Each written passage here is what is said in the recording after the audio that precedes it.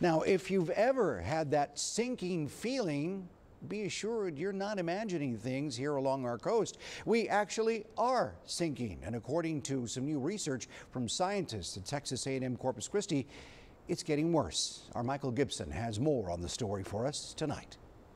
You can look all up and down our coastline and you won't be able to see subsidence. But during huge rain events and hurricanes, you will soon be able to see the consequences of the land sinking.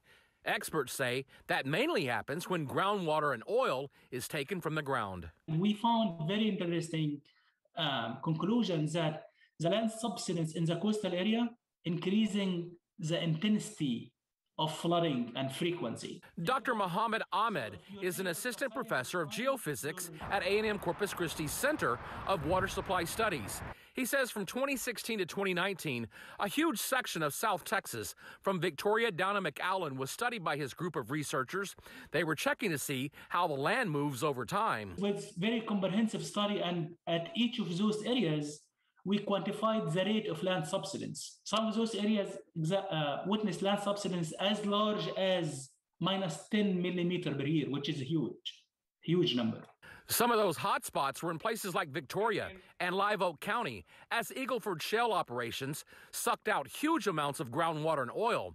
Even Nueces Bay was seeing subsidence greater than three millimeters per year, but the reasons are unknown. Extraction generally, we believe it initiate and activate movement along faults, and, and those could initiate land subsidence in some areas. Growth faults that are spread out all along our coastline.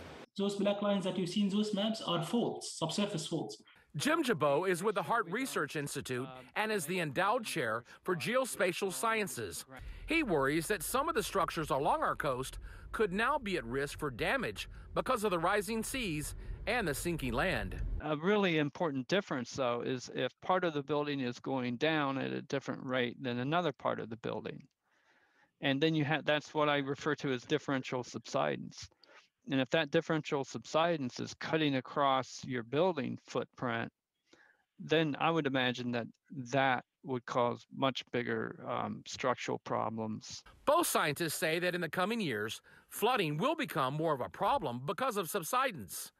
While the problem can't be reversed, it could be slowed down through better groundwater management and urban planning. Michael Gibson, 3 News.